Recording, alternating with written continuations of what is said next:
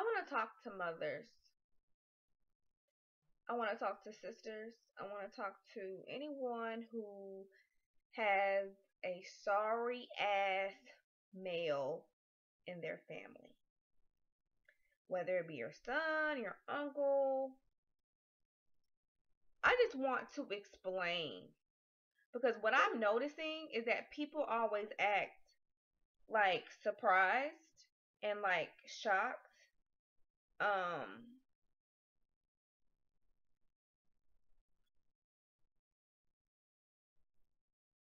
about male behavior. About sorry ass male behavior. That's what I'm talking about. And I'm going to tell you why. That, you know, I don't, you know, I keep hearing this. I don't know why my brother, you know, was the only person who didn't get his shit together. I don't know why my son can't get it together. I don't know why, you know, my uncle is this way.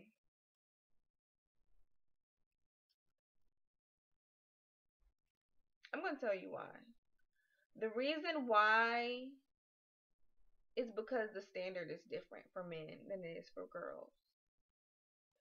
The reason why your brother, your uncle, that dude just can't get it together is because as my former um, religious leader said at church one day, she said, We have a problem in our community. And she was like, we raise our daughters. We give them rules, we give them structure, you know, because we're just so worried about them getting pregnant. You know, we're just so worried about them getting pregnant and becoming, you know, a statistic. But we let our sons do whatever they want. There are no rules. You know, it's just like, you know, oh, just let him sow his royal oats. Oh, just let him do. You know, he's, he's gonna be, you know, let him be a man. You know, and he's 16. And then when your daughter, who's had all this discipline and all these rules, says, okay, I have all this pressure. I'm going to go to medical school. I have all this pressure. I'm going to go get my PhD. I have all this pressure. I'm going to be the best educator in the so and so school district, and I'm going to do this. You know, they go and they do all of these these overachiever type things, you know, because they've been kind of conditioned to like, you better do this, you better do this, and then our sons just like they sleep on our couches till they're 25. They have like three or four kids running around with different women. You know, we we have to yell at them to get up past 11 a.m.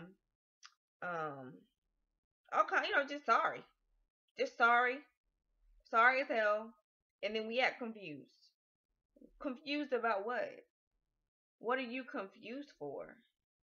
Like, you created this monster. Like, at 18, you was asking your daughter, where is she going? What is she doing? You know, and, and, and he and him, he turned 18, it was just like, you know, yeah, he's still, he's still here. You know, he loves my cooking. You know, it's, it's cute. It's cute. And then when they get to be 25, 26, you know, you now, now the light bulb finally comes on. Damn, I raised a lazy ass man.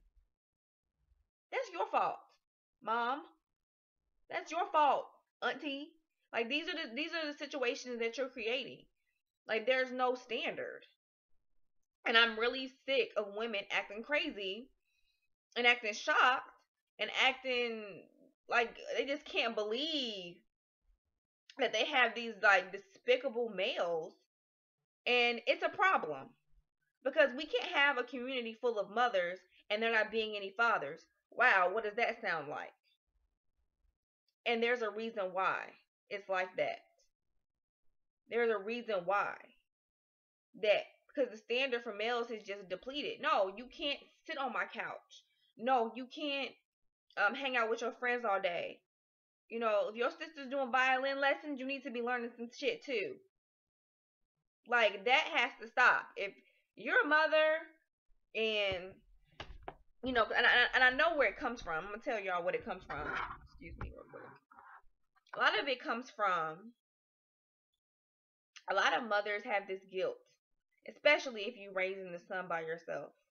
You have this guilt that damn, you know, I had to do this by myself. You know, this dude left me. Maybe you made a poor decision in a mate and you just feel like, you know, I really need to I don't want to I don't want to push him too hard, you know, cuz I feel bad he didn't have his daddy around. Tear tear, right? And then because you know what you've had to go through, you know, you've had to buckle down and be this quote unquote strong woman and raise your daughter, you you you make her like you. You make her like a mule. You make her like this this this this stone hard. Don't depend on no man for nothing, girl. Do this, do this, do this, do this, do this. So she goes and she does whatever she needs to do to be independent. To be work for herself, to be hardcore and to do things for herself. And there's nothing wrong with that to an extent.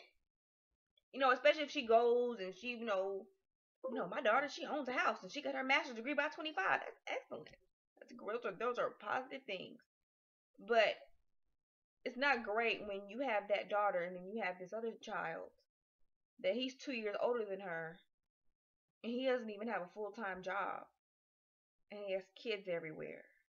And a lot of these men have learned to be picky. I, ain't gonna work in no fast food place. I ain't gonna work here, you know. And they they've done absolutely. They have absolutely no skills. They literally just played video games and smoked weed and just done nothing productive in their lives. Like we as as mothers, uh, you have to take you have to take responsibility for that. You have to take responsibility for that. And we have to just we have to be we have to just realize that we effed up. That's where the mothers they they drop their ball. And I've seen it time and time and time and time and time.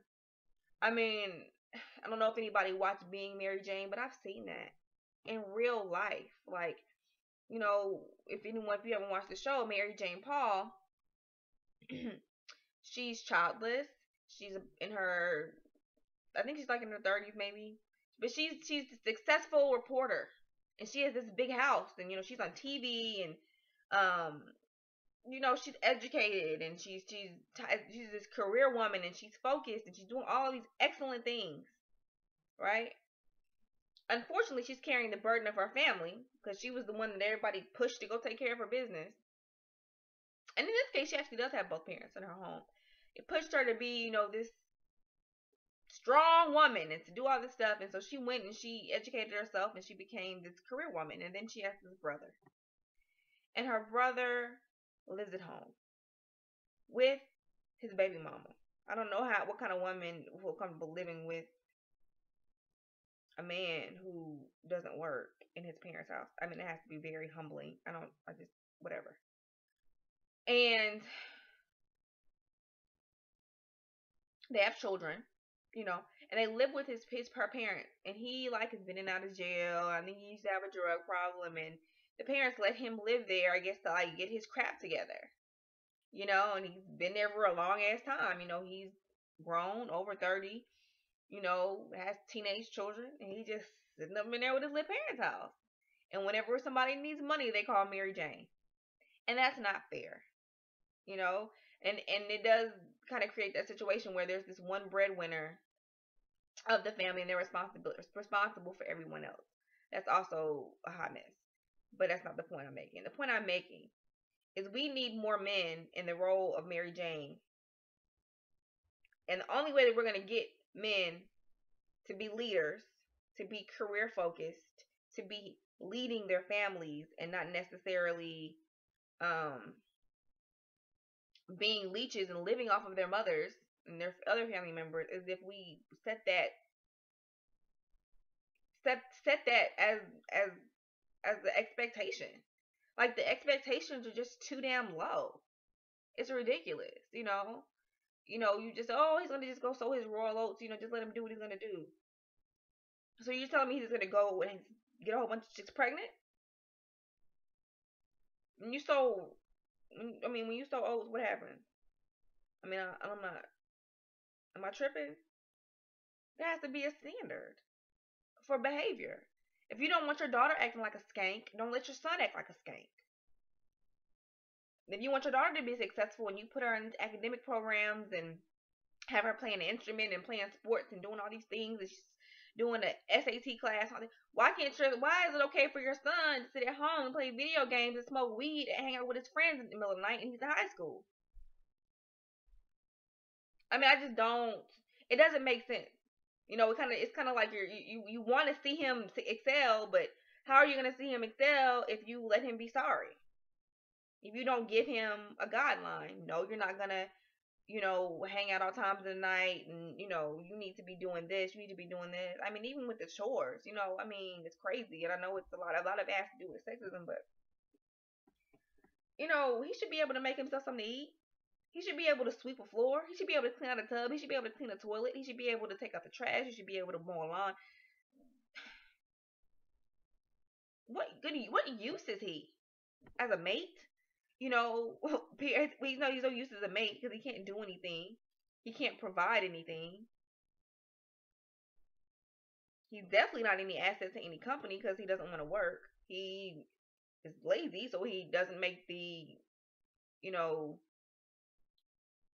make the provisions to work for himself. He doesn't try to start a business. He just lays on your couch and smokes weed and plays video games all day. Hangs out with his friends. Sorry.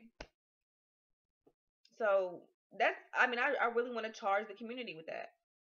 If you want your son to be successful, give him lay down some law. Make him do something specific. I mean, hell, even some of these hood rat moms will tell you, I'm gonna make sure he play football so he can go do like they do something. They try to make him do something. How do you just let your son not do anything constructive? I mean, I don't. I mean, what do you expect? You shouldn't have any expectations, really. You really shouldn't. You should you should expect him to sit on your couch and to do nothing and to be just a loathsome adult. There are no no expectation. So I, I that's my charge. Let's higher our expectations for our males. My expectation is not jail. My expectation is not sagging your pants. My expectation is not um subpar grades at school. It's just not. I'm not going to accept that as the norm for our males. I'm just not going to do it. I have a male child and I just refuse. I'm going to do everything in my power to not have that as the outcome for my child. And I really hope and I really um I want to charge that. I want to charge that as I want that's my charge. Let's start making more suitable males so that they can do what they need to do for our families, for our community. It's ridiculous. We have it's just it's just not things aren't the way they should be, and that's part of why. So I'm gonna go to bed now, and I hope that this um, encourages someone to think a little bit more critically about parenting and about having a having a son. Having a son because it we're, we're doing we're doing pretty good about our girls. We're doing really really good by our girls, even though the media might not say so. But from what I've seen, we are. We are. The, the men need more structure. They do. Thanks for watching.